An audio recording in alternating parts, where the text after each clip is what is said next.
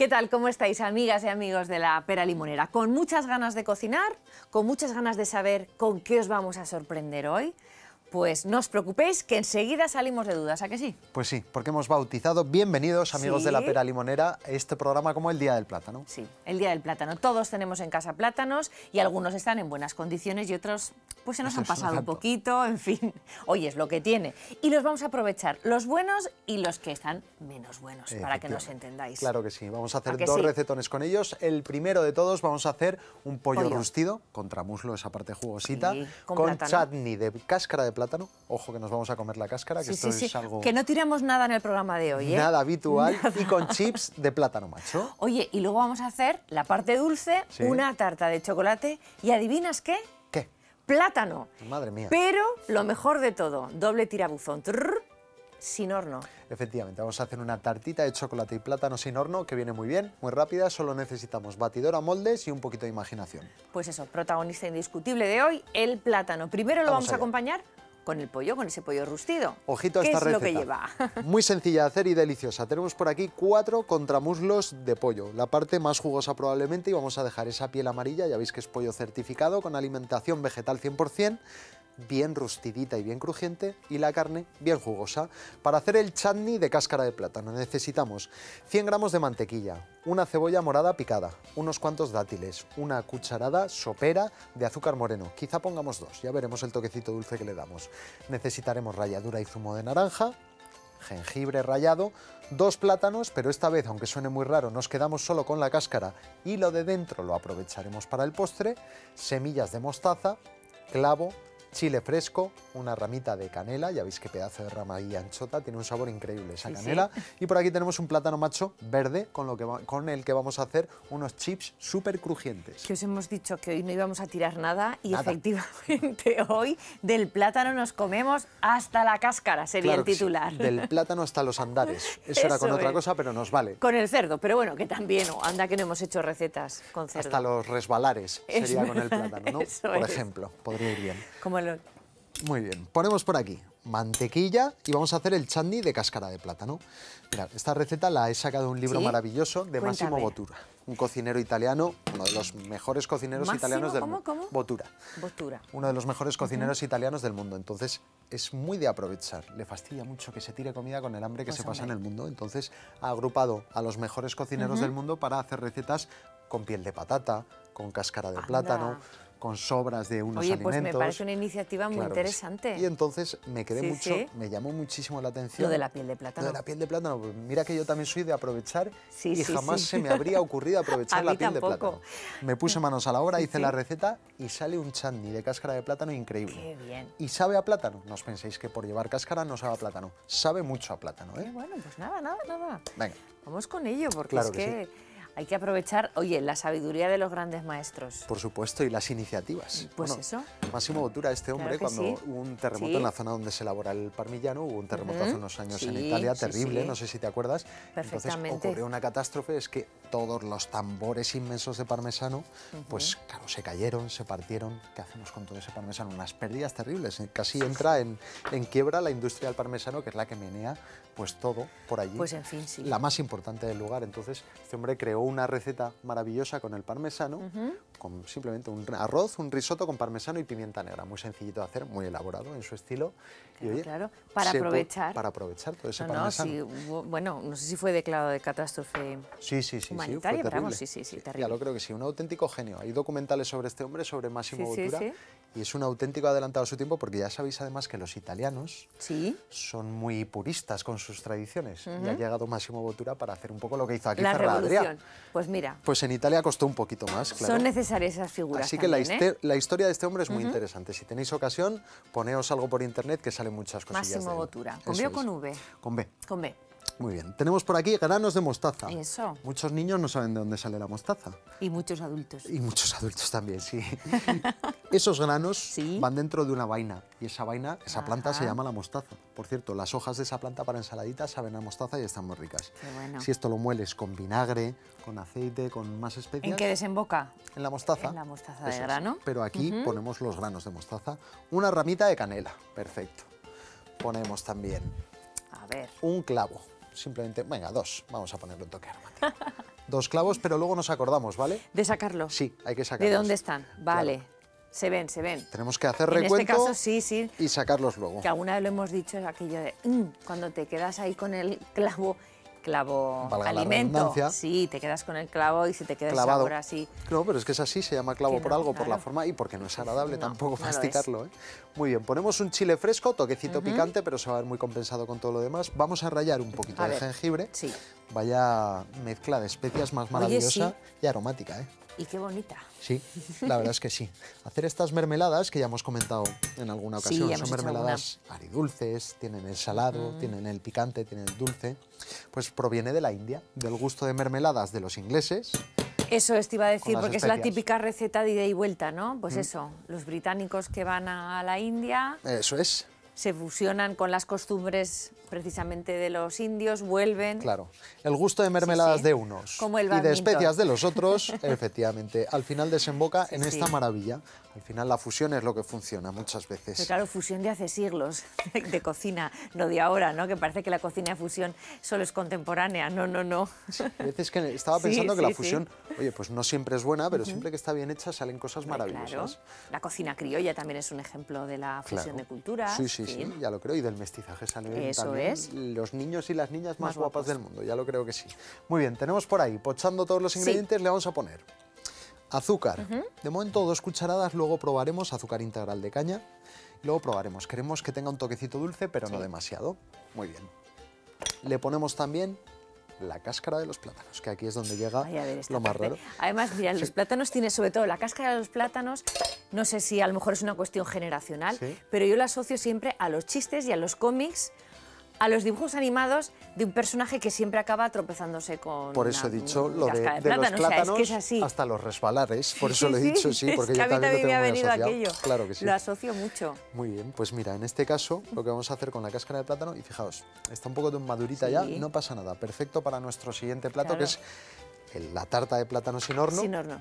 Y lo que vamos a hacer, para que no se nos oxiden, ponemos por aquí El truco zumo de infalible del zumo de naranja. Eso es, meneamos un poquito, ya sabéis que es muy antioxidante Sí. el zumo de naranja, y le ponemos papel film y lo metemos a la neverita. Ujú. De Y esa con esto manera- ya garantizamos Sí. que no se deteriora. listo para nuestra siguiente receta y retomamos con esta. La verdad es que resulta Con extraño. las cáscaras de plátano. Sí, ¿verdad? ¿eh? Resulta extraño verlas ahí que no las vaya a tirar. Que no, que no las vamos a tirar. Por cierto, una cosa que no acostumbramos a hacer estos plátanos están lavados. Sí, Claro, por fuera, que es una cosa que nunca hacemos, lavar los plátanos, pero en este caso hay que lavarlos. claro. Claro, que no nos resulte raro. Muy bien, quitamos la base, los extremos, Sí, que es la parte así un poquito más dura, pero a partir de ahí aprovechamos todo. Y la verdad es que ya huele mucho a plátano. Dices, bueno, pues con una cocción, bien que se puede aprovechar, ya lo creo que sí.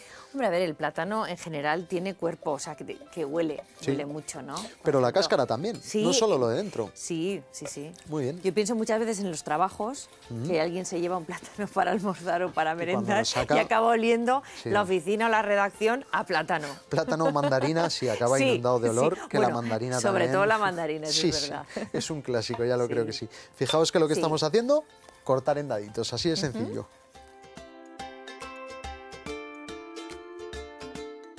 Hemos picado la cáscara de plátano y por aquí unos dátiles, sin hueso, Sí, sí. Oye, parece mentira que esto sea cáscara de plátano. ¿eh? ¿verdad que sí? Sí, o sea que se lo debemos al señor Máximo Botura. Efectivamente, a su iniciativa más que nada, al libro Oye, que... que lo estoy investigando ahora en una pausa. Ah, sí, Tiene un libro que es que me ha hecho mucha gracia. Nunca confíes en un chef italiano delgado. efectivamente, sí. Precioso, precioso el título del libro. Sí, sí, sí. Y la receta que has dicho del, del parmigiano, la que hizo para ayudar al sector, fue por los terremotos que hubo en el norte de Italia de 2012. Eso es, efectivamente. Sí, sí, sí. Muy interesante, ¿eh? Claro que sí. Habrá que ir a su restaurante a Módena, ¿eh? Pues hombre, nos pilla un poco a desmano, pero si tenemos la oportunidad, por supuesto que lo haremos. Claro que sí. Muy bien, tenemos por aquí zumito de naranja. Vamos a poner. Sí. Mojamos con el zumo de naranja y ahora tenemos que dejar que cueza poquito a poco.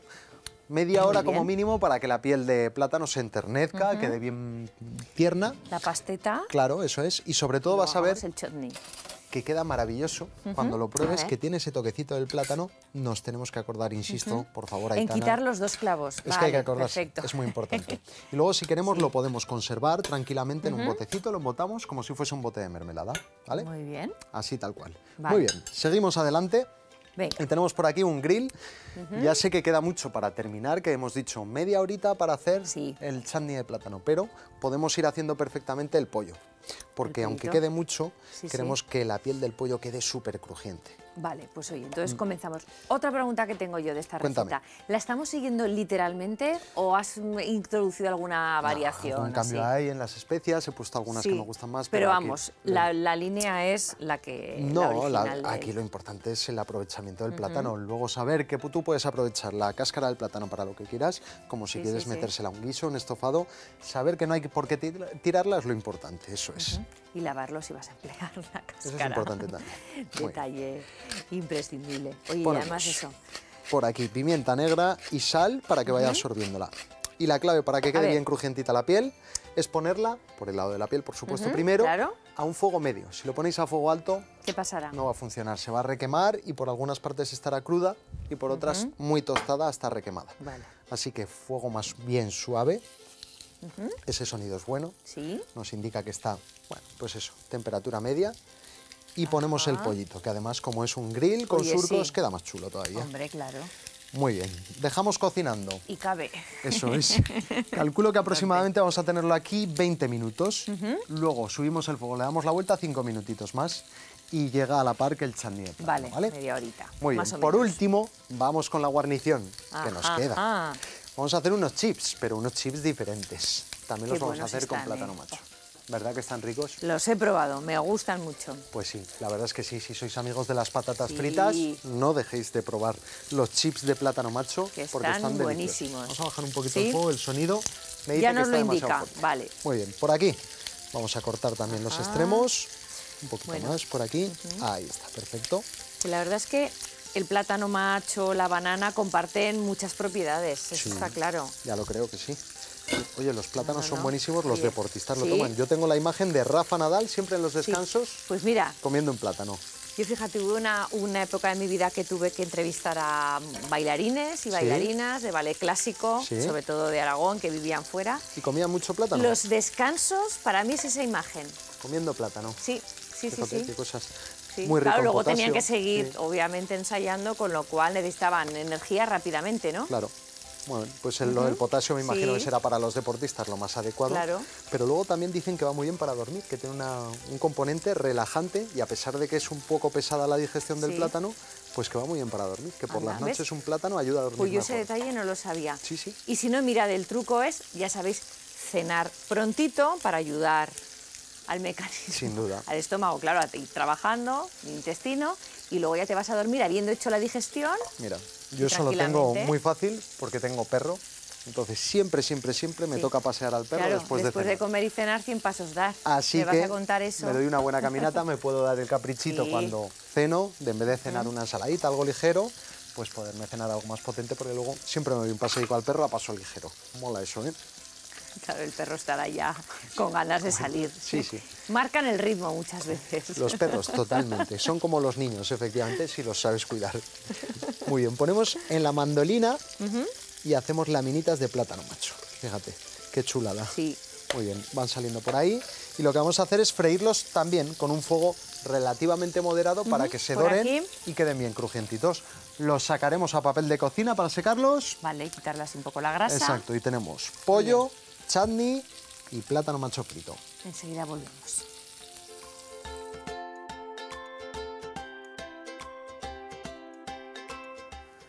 Plátano macho frito, bien crujiente, con el toquecito de sal correspondiente. Eso es, que Seguimos podía parecerse avanzando. unas chips perfectamente. Claro que sí, Unas bien patatitas. ricas que están. Mira ese pollo que también está rollo chip, ¿eh? Piel súper crujiente. Y luego tenemos por aquí el chutney de plátano. ¿Te animas a probarlo o qué? Venga, sí. Claro, ya sabes que yo solo te doy a probar cosas que creo que te van a gustar. Y yo a creo que este chutney de ver, a ver, plátano- porque le has echado... Muy poquito, muy poquito. poco Calorcito en boca, está muy Venga. cocinado, es media hora de cocinado, el picante queda por ahí levemente, pero aquí tiene el toque del plátano, el saborcito ahí. Está rico, ¿verdad? Muy Te original. tengo que dar la razón en todo. Claro que sí. Mm, cáspita. Otra vez más, Dios mío. Dios. Ah, y he tenido la precaución de sacar los dos clavos, ¿eh? No se nos ha olvidado, por aquí los tenemos, ya han Sí. cumplido su misión. A mí sí que se me habían olvidado. No pasa bueno. El caso es que se acuerde uno de los dos y ya está. Efectivamente, oye, sí. Muy bien. Qué regusto más bueno. Ya lo creo. Como tiene ese colorcito que, oye, Mm. siempre se puede apañar, siempre se puede embellecer, porque el color no es que sea el más bonito, lo que vamos a hacer es ponerle perejil. ¿Vale? Ponemos perejil picado. Que tampoco le va a afectar mucho al sabor, así En que... absoluto. en Perfecto. absoluto. Lo que queremos es que quede con un color bonito, sin cambiarle el sabor. Ahí está, con el perejilito. Y ya podemos. Emplatado, Sí, claro. vamos con ello. Vamos a poner en la base Ujú, el nuestro chutney. Ahí está. Muy bien. Oye, está Perfecto. muy bueno. Y sí Muy que se rico. nota el sabor a plátano, ¿Verdad? ¿eh? Que sí, parece mentira que con dos cáscaras de plátano sepa tanto, pero es así. Sí, sí, así Sabe es. a plátano. Muy bien, ponemos encima nuestro Aquí. pollito. Le vamos a poner por aquí. Nos acercamos Bien. y esos chips de plátano El macho. acompañamiento ideal. Anda, comete uno que lo estás Venga, sí. deseando. Coge, ¿Cómo coge. me estoy poniendo? Últimamente me das a probar demasiadas cosas en los programas es que esto- y luego, claro, luego me dicen por ahí, ¿cómo te pones? Aitana, yo también me he comido un par de ellos, ¿eh? cuando los he sacado de la sartén y les he puesto la salecita. O sea que no pasa absolutamente nada. Tenemos un poco de riracha, una salsa picante que ya sabéis que nos encanta. Ponemos al lado un poquito para el que quiera algo un poco más sandunguero, pues que lo tenga ahí. Perfecto. Si no le ha gustado el picantito del chutney, ¿Le parece corto? Pues Subimos otro nivel más. Eso es, ponemos ya está. un poquito de cilantro, que es lo que le pega a esta receta. Oye, Y ya lo tenemos, este perejil para afuera. Ahí está. Que tenemos un pollo rustido con chutney de plátano, oye. Probadlo. Y receta de aprovechamiento.